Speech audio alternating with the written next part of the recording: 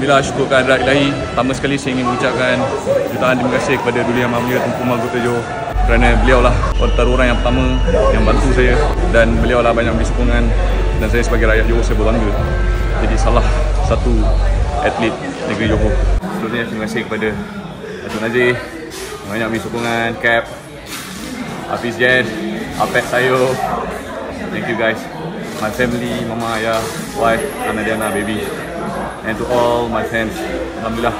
Dan saya harap sangat peminat-peminat di Malaysia dan juga orang seluruh rakyat Malaysia supaya terus mendukung saya kerana selepas ini ada lagi yang lebih besar akan menunggu InsyaAllah